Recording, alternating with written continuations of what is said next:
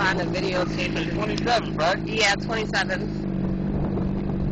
Between 9th and 10th. It's not even 11th, uh, 10th and 11th. It's 9th and 10th.